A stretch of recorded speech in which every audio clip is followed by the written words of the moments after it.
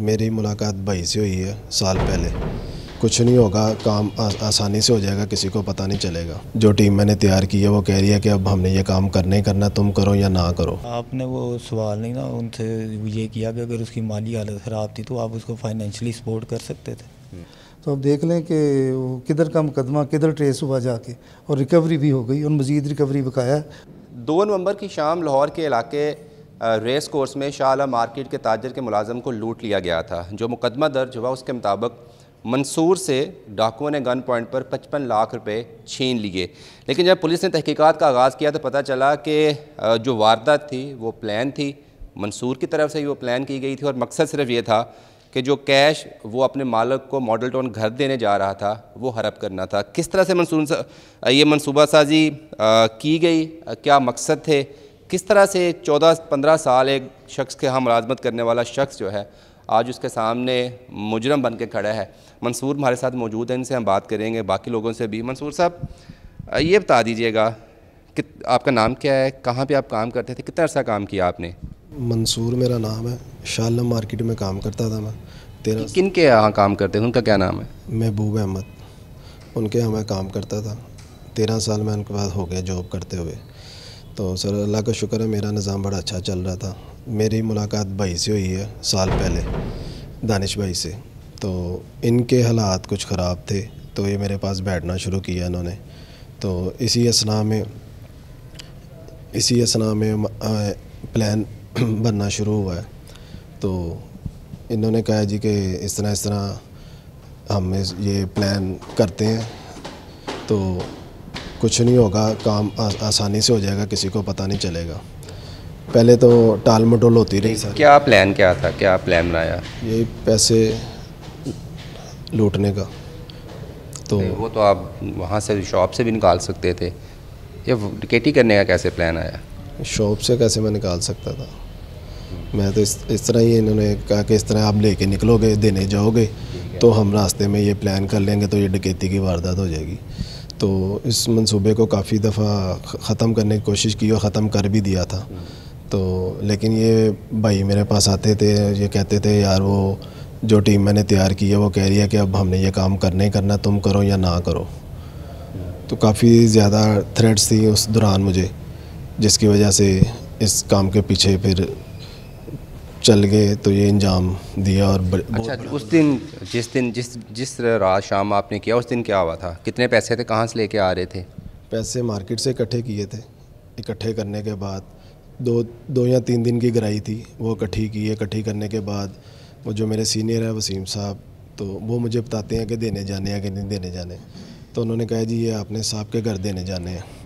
तो मैंने कहा अच्छा ठीक है। तो मैंने साढ़े चार बजे कॉल करके बॉस से पूछा कि पेमेंट आ गई है तो मैं ले आऊँ। उन्होंने कहा अच्छा मैं आधे पौने घंटे में ना आपसे बात करके तो निकल आना। वो मेरा टाइम हो गया सवा पाँच बजे, मैं निकल जाता होता था।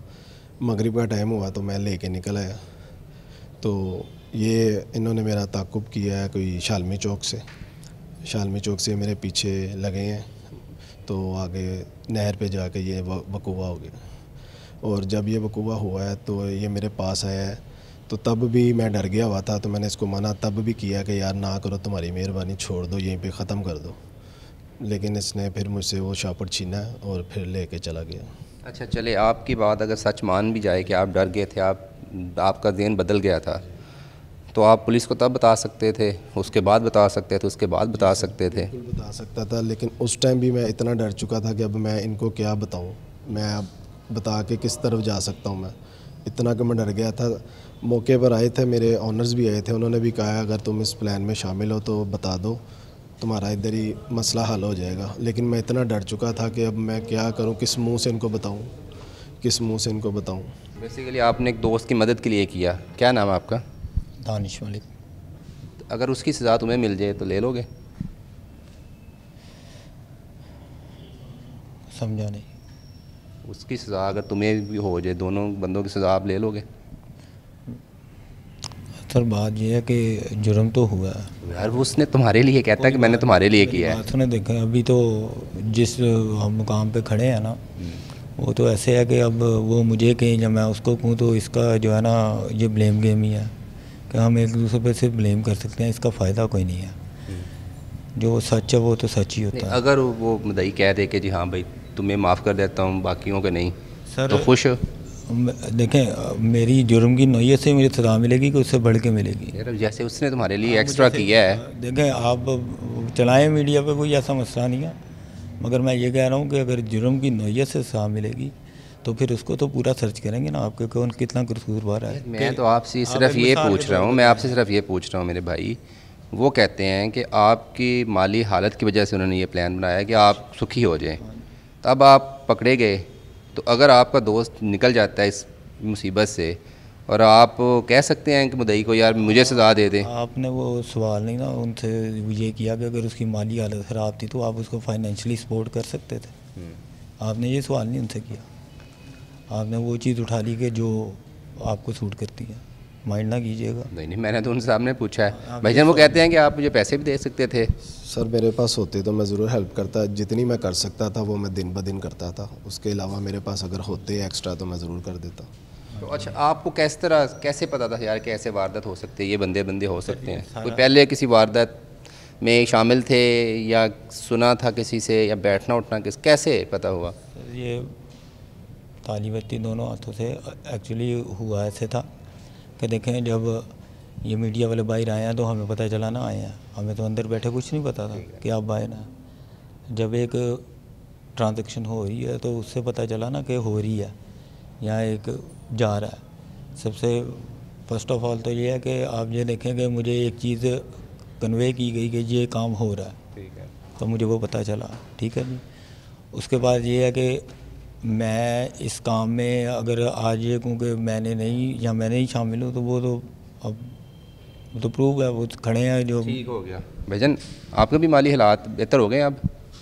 सर जी मुझे तो मैं तो दो तीन बार कमाने वाला आदमी था अच्छी भरी ज़िंदगी जा रही थी एक मेरी बच्ची एक बीवी मेरी बीवी का एक्सीडेंट हो गया था कमर अच्छा किस तरह से शामिल आ गए ये तो मसायब हर किसी के हैं कुछ ना कुछ।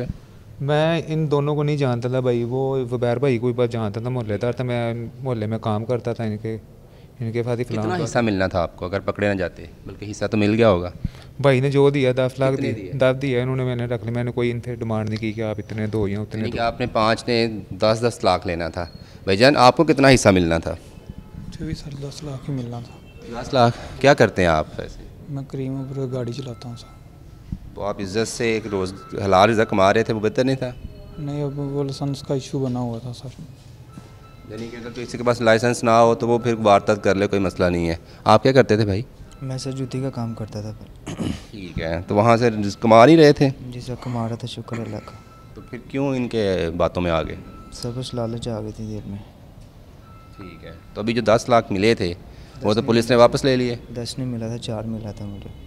तो आपको क्यों चार मिला था? तो इन्होंने दिया था। क्योंकि पहले डिसाइड नहीं हुआ था कि इतने इतने पैसे हैं इतने कुल पैसे होंगे। तो अभी क्या फ्यूचर में आपको क्या लगता है? तो फ्यूचर तो ख़राब हो गया हमारा गलती कर बैठे हैं। ठीक है। तो अगर कोई माफ़ी मिले तो बाहर निकल के फिर क्या करोगे? नेकी के रास्ते पे चलेंगे अच्छी कमाई करेंगे नेक कमाई। इन कामों में नहीं पड़ेंगे दोबारा से। बहुत शुक्रिया। आपने गुफ्तु सुनी, अमल ज़मान की, उनका कहना है कि एक दोस्त की माली मदद के लिए। लेकिन इसमें एक केस में ट्विस्ट ये भी है कि ये जो वारदात थी ये रेस कोर्स के इलाके में हुई थी, लेकिन इनको पकड़ा जाए गुलशन इकबाल वालों ने। किस तरह से ये इनके हथे चढ़े ये एस एच ओ साहब हैं और उनकी टीम उनसे हम जानते हैं। डी एस पी साहब भी हमारे साथ मौजूद हैं एस एच ओ भी है, उमर भी है, जो कि इस केस का तफ्तीशी है। आतफ साहब मोस्टली लोग पुलिस वाले जो होते हैं, वो जान छुड़ाते हैं कि दूसरे का केस हमें, हमारे गले ना पड़ जाए। तो ये तो रेस कोर्स कहाँ पर गुलशन इकबाल कहाँ पे? किस तरह से आपने ये ट्रेस आउट किया? बिस्मिल्लाहिर्रहमानिर्रहीम ये इस तरह है कि ये जो क्राइम कंट्रोल करने में या क्राइम को ट्रेस करने में ये कोई हदूद नहीं है हमारी। ये तो सिर्फ़ इलाके के हिसाब से जो थाना जात होते हैं, ये उसी तरह होता है। क्राइम को पकड़ने में कोई ऐसी बात नहीं होती है। ये इसी तरह कमर के पास इंफॉर्मेशन आई कि एक लड़का है किसी जगह पे कि उसके माली हालात बड़े ख़राब थे, लेकिन आजकल वो बहुत ऊँची हवाओं में, दिनों में, दो चार दिनों में, इन्होंने मुझसे मशवरा किया, मैंने कहा, यार, इस तरह काफ़ी हम लोगों ने केस ट्रेस किए, आप ऐसा करें कि इसको फौरी तौर पर ना एक स्पेशल टीम तश्कील दें और उसके ऊपर जाकर ना फौरी काम करवाएँ। खैर, इसने उम्र जो है, हमारा यंग मतलब टैलेंट है इसके ज़िम्मे लगाया, इसने जाके पहले रैकी शैकी की, रैकी करके उसको वॉच किया। वॉच करने के बाद कोई एक दो दिन लगाए, उसके बाद फिर उसे पिक कर लिया। मेरे ये साथ अटैच रहे। फिर जब उसे पिक किया, पिक करने के बाद उससे बातचीत की तो उसने फिर बताया कि जी, हम लोगों ने ये मंसूर के कहने के ऊपर, मंसूर जो है वो उनका अकाउंटेंट है। वो पैसे लेके ट्रांसफ़र करता है। तो वो हमने वारदात की। कुछ छः महीने से हम लगे हुए थे कभी हमारा हौसला नहीं पड़ता था कभी हमारा टाइम नहीं मिलता था। फिर आज टाइम मिला तो इन्होंने जो वारदात की है फिर उसमें ये पचपन लाख रुपए की इन्होंने वारदात की। अच्छा अभी कितनी रिकवरी कितनी हो गई है? आ, तकरीबन 43 लाख लैक्स के करीब रिकवरी हो गई है। वो तो फिर बड़ा खुशकिस्मत है सर उसकी सारी रिकवरी आलमोस्ट हो गई है। हाँ जी नहीं मैं मिला हूँ उनसे वो उनके हक हलाल के पैसे हैं तकरीबन हर महीने में वो उम्र करते हैं। नेक आदमी हैं, उनको ये यकीन था कि मेरे पैसे कहीं भी नहीं जाएँगे। तो अब देख लें कि किधर का मुकदमा, किधर ट्रेस हुआ जाके, और रिकवरी भी हो गई, और मज़ीद रिकवरी बकाया वो इन इन्वेस्टिगेशन में हो जाएगी। चलें, सर, बहुत शुक्रिया, आपने आता साहब की गुफ्तु सुनी, और इसमें लेसन यही है कि अगर आप हलाल के रिजक कमा रहे हैं तो उसी को नेक नीति के साथ आगे बढ़ाना चाहिए, उसको मेहनत के साथ उसको बढ़ाया जा सकता है, ना कि लालच में आकर बेदीन हो जाएँ बेवफा हो जाएँ।